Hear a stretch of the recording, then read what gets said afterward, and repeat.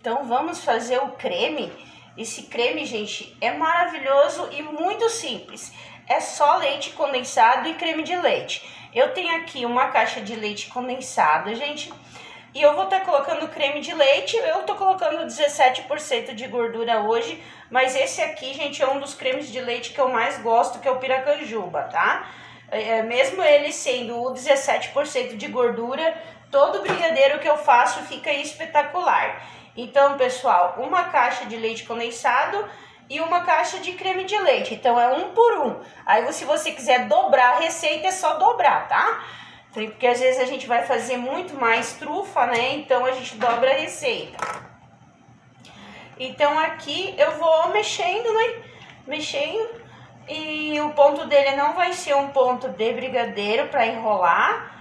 Vai ser o ponto, um ponto mais cremoso, né?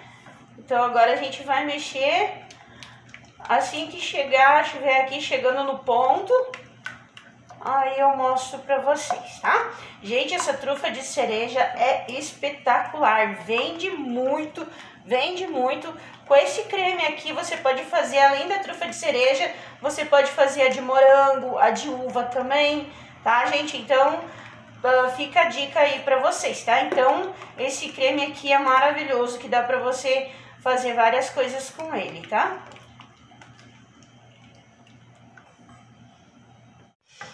Então, gente, aqui, ó, já está pronto. Ele tá bem molinho, ó, você pode ver, né? Ele tá quase que um ponto de bico. Né? Eu gosto do creme assim, molinho, pra gente fazer o de cereja, gente. Que aí eles corre assim, né? Mas ele fica macio, ele vai ficar cremoso, né? Ele não vai ficar aguado, tá? Então vocês vão ver isso quando ele é, gelar, né? Então a gente vai deixar mais ou menos por um ali por uma hora fora da geladeira para descansar e nós vamos é, levar para a geladeira depois umas duas, três horinhas para ele ficar bem frio para a gente poder fazer as trufas, né? Então é isso, gente. Ó. Esse é o ponto, tá? Olha, ele tá parando em cima aqui, ó. Ele dá aquela paradinha em cima aqui, tá? E ele dá aquela parada e ele começa a ir para dentro. Então esse aqui que é o ponto do creme que eu faço a trufa de morango e de morango, de uva e a de cereja, tá? Então agora eu vou colocar num potinho Vou cobrir ele com um plástico ou um papel filme. eu coloco num potinho assim. Pessoal, ele rendeu bastante porque eu dobrei de volume, tá? Porque eu vou usar também para fazer trufa de morango amanhã. Então, eu dobrei o, a receita, tá? Então, eu vou colocar a receita certinha na descrição. Mas se vocês quiserem dobrar também, pode dobrar a receita, tá bom? Eu gosto de colocar nos potinhos assim, pessoal, que fica melhor para mim manusear. Se por acaso eu usar uma parte hoje e ficar um pouquinho, eu só cubro ele com o plástico, com o papel e eu volto a usar amanhã, tá bom? Então, gente, aqui ó, tem uma forminha aqui, ó, que é a SP41 casca 11 gramas. Depois de pronta essa trufa, ela fica 45 gramas, 43 a 45 gramas, tá, gente? É a trufa que nós estamos vendendo, eu e meu marido, nós estamos vendendo, né? Essa forminha, ela tem três partes, que é a partezinha de silicone. Fica bem mais prática a gente fazer com esta forminha, gente, porque é muito mais rápido, né? Ela tem 11 cavidades, é da BWB, é muito boa mesmo essa forminha, gente pode usar ela que esse tamanho aqui para nós é bom porque a gente vende uma por três e duas trufas por cinco reais, né? Então para nós tá ótimo esse tamanho de trufa, né? Aqui, gente, eu tenho aqui, ó, um chocolate aqui da é cobertura sabor chocolate fracionado, tá? Da Harald, confeiteiro da Harald, tá bom, gente, ó? Ao leite, né? Então a gente vai enchendo aqui a forminha até a marcação dela, tá? Até onde é que ela tem uma marcação, né? Para não ela para ela não transbordar. a gente enche a forminha assim. Né? Eu tô fazendo aqui trufa que meu marido vai vender amanhã. Ele tá lá na rua vendendo, gente. Tá vendendo bem, hein? E ele, e ele é assim, guerreiro, gente. Ele é insistente mesmo. Ele vai, ele vai, ele fica na frente da lotérica, ele fica na frente dos mercados. Gente, eu, meu marido assim tá me surpreendendo mesmo na venda das trufas, gente. Ele vende bastante mesmo. É, eu derreti, gente, essa cobertura aqui na, no banho-maria, tá? Mas pode derreter no micro-ondas também. Tem aqui no canal também, eu como derreter no banho-maria. Agora, essas duas partes aqui, a gente faz assim, ó. Já vem com ela toda e coloco por cima aqui, ó. Eu dou uma apertadinha assim, até ver que a cobertura subiu. Aí eu dou aquela viradinha para terminar de preencher o resto, o restante, né? Vejo se tá tudo bonitinho aqui, preenchidinho. Dou uma, deixo dar uma descansadinha aqui de um minutinho e levo pro freezer ou na geladeira. Mas gente, eu trabalho muito com o freezer, que fica mais é mais rápido para mim e para casquinha cristalizar. Daí eu cuido para não ficar muito lá, né? Assim que cristalizou a casquinha, eu já tiro de lá do freezer, né, pra gente montar a trufa. Então eu sempre trabalho com freezer, tá? Então vamos levar pro freezer. Então, gente, aqui, ó, acabei de tirar da geladeira. Quando ele tá opaco, é porque ele já está pronto, né? Então, eu vou tirar primeiro esta parte aqui, né? Deixar ela ali de ladinho. E eu vou retirar agora o chapeuzinho, né? Para quem não sabe utilizar essa forma, é assim que a gente faz, né? Olha, eu tem muita gente que não sabe usar, que vem assistir vídeos... Uh, de pessoas fazendo trufa realmente para aprender a usar, gente, porque muitas pessoas não sabem usar, estão fazendo pela primeira vez e assim a gente vê nos comentários que a pessoa fala: "Poxa, eu não sabia usar, eu aprendi a, aprendi hoje com você aqui a usar essa forma". Então assim, eu fico muito feliz, né, de de poder estar tá ajudando muita gente, né? Então é assim, daí aqui eu vou deixar de ladinho, essa forma aqui eu vou deixar de lado eu tenho aqui um pratinho. Gente, eu tô fazendo trufa, então eu já tirei aqui umas rebarbinhas aqui, ó, de outra forma. E eu vou tirar essa daqui também, né? Ó, eu faço assim, gente, ó. Eu vou tirando aqui, né, com a faca. Vou tirando assim, pego uma faquinha boa e vou tirando ela as rebarbinhas. E vou deixando aí de ladinho, que essa rebarbinha, ela é limpa vai dar pra gente usar ela de novo, derreter de novo para fazer mais trufa, né? Então eu vou fazendo assim, gente, para limpar, tá? Eu vou deixando tudo bem limpinho. Eu vou fazer aqui ao contrário, que fica melhor pra mim, né? Eu vou deixando tudo bem limpinho, porque na hora de fechar, daí também na hora de fechar eu cuido para não sobrar muita rebarba, né? Aí fica bem melhor pra gente é, na hora de fechar, não, vai, não precisa estar tá tirando, na hora de embalar, né? Não precisa estar tá tirando as rebarbinhas. Porque, olha, aqui já tá bem, bem retinho, né? Então, eu tirei aquela sobra.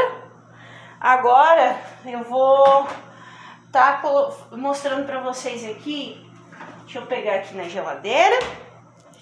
Pegar aqui aquele creme, ó. Até sujei de chocolate já eu tô aqui, gente, ó, só na fabricação das trufas. Então tá aqui aquele creme, né, ó, gente, ó. Olha como que ele ficou, né? Ó, quanto mais a gente mexer um creme assim de brigadeiro, mais brilhoso ele fica, tá, gente? Olha, mais bonito ele fica, tá? Ó, como ficou bonito esse creme. Então agora a gente vai preencher aqui eu tenho aqui a cereja. Eu vou dar uma olhadinha aqui também quantas cerejas que eu tenho. Eu tô usando essa aqui da Oderich, tá? Cereja em calda. Vou colocar aqui num copinho pra gente ver, né? Pra gente ver também quantas cerejas que vai dar pra mim colocar ali. Eu quero fazer, quero fazer com todas que tá aqui nesse copinho. Mas tem bastantinha. Esse, esse copinho aqui eu paguei nove reais, acho eu paguei ele, é, nove noventa, alguma coisa assim. É, ele, vem com mais de umas 30 mais ou menos, ó, né? Você pode também fazer com outra cereja que você quiser, tá? Procura a melhor aí que tu vê aí na tua cidade, que tá um preço bom, tá? Mas tem que ser uma coisa de qualidade, ó, esse, olha aqui, ó, gente, ó. Então eu deixo assim no caldinho, porque eu não vou secar ela, não vou tirar ela com papel toalha, não vou secar nada. Porque eu já vou mostrar pra vocês como que eu faço, tá? Deixa eu mostrar pra vocês agora. Deixa eu só pegar meu copinho de água aqui, meu paninho, tá bom? Então, pra preencher, eu dei uma molhadinha aqui na minha mão. Aqui tá aquele creme. Eu pego um pouquinho do creme, né? Eu dou uma bolhadinha, só que ele tá bem molinho, gente. ou pego com uma colher ou eu pego com a mão. Esse tá bem molinho. Deixa eu pego um, um tantinho assim com a mão, né? Eu não tô conseguindo bolhar ele. Mas conseguir bolhar ele, melhor, né? Então eu pego ele aqui, coloco um tanto aqui dentro, devagarinho.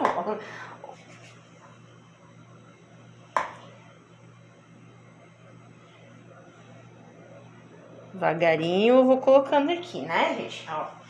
Então eu vou mostrar pra vocês como que eu coloco a cereja agora nesses aqui, né? Só colocar mais um pouquinho de creme aqui.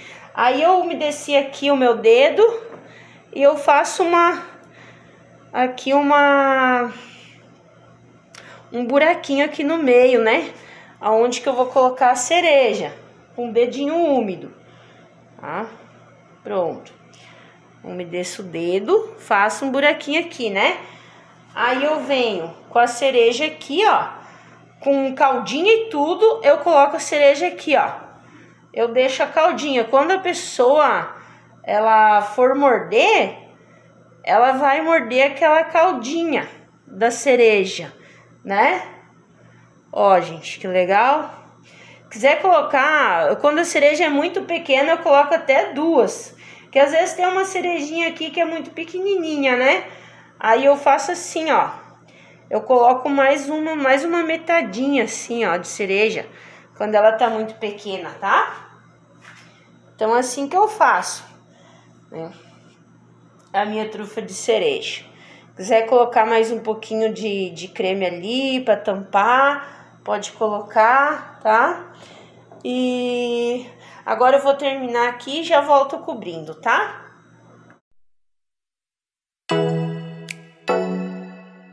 olha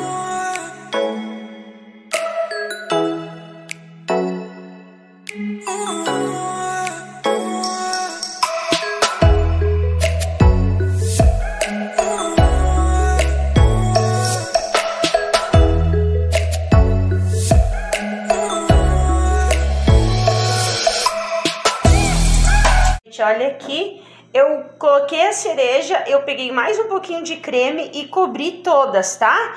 Cobri assim, pra gente, quando a gente fechar com o chocolate, o, a cobertura, né, que eu for fechar aqui, ela não vai encostar direto na cereja, né? Vai ficar bem bacana.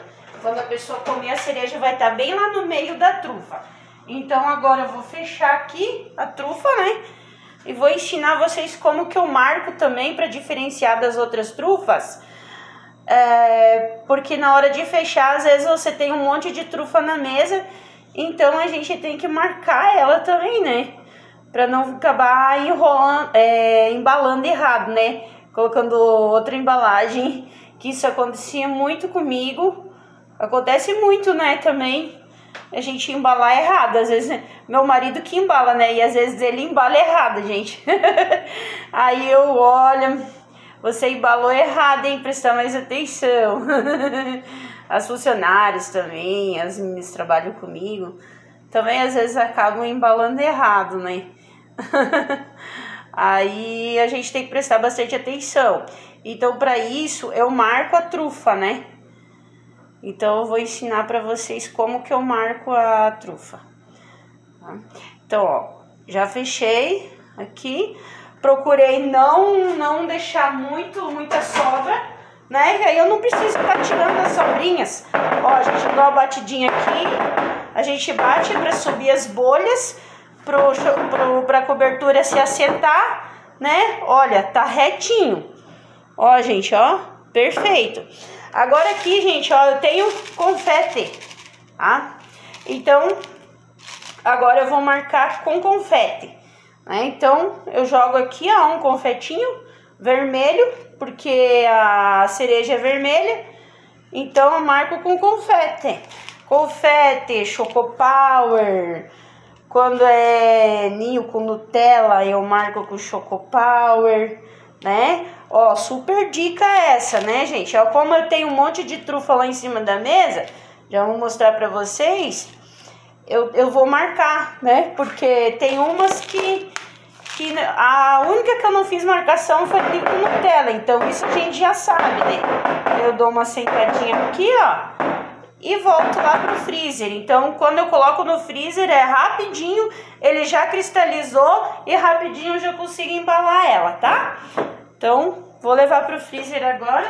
Pera aí, gente, que eu vou dar um, mostrar pra vocês ah, as trufas que tá lá em cima da mesa lá para vocês, né? Quem tá curioso aí, deixa, gente, aqui eu tenho mais trufa aqui, essa aqui é ninho Nutella que eu tô tirando, eu vou mostrar para vocês aqui, ó, ó, tô aqui, ó, isso aqui é ninho com Nutella, beijinho, aquela lá é brigadeiro, né? Aí eu tiro aqui, ó. Faz até um barulhão, né, gente? Aí eu tô deixando aqui, ó. Quando meu marido chegar, ele vai me ajudar a embalar. Ele tá lá vendendo, né? Aí vou incluir aquelas de cereja também, né? Pra ele vender. Olha aqui, ó. que mais vende são ninho com Nutella, né? Então, vamos esperar pra gente ver como ficou a nossa trufa. Bom, gente, tá aqui, ó, tá pronta a nossa trufinha. Agora, pessoal, nós vamos abrir ela aqui, ó. Cortar ela aqui no meio pra gente ver como que ela ficou. Nossa, gente, olha só que legal. Tchau, tchau, tchau, tchau. Surpresa! Olha que maravilha essa trufa, gente. Olha só que legal. Muito bacana, né? Pessoal, olha isso, olha que suculento. Façam aí, pessoal, porque vocês não vão se arrepender, tá? Vai ganhar muito dinheiro aí fazendo essa trufa aí também, incluindo aí nas suas vendas, tá? Se você gostou, dá o teu like, teu joinha para nós, se inscreve no nosso canal, ativa o sininho para receber notificação de quando eu gravar mais vídeo. Ah, gente, deixa aí nos comentários qual trufa que você quer que eu gravo para você aí, tá? Um beijão, tchau!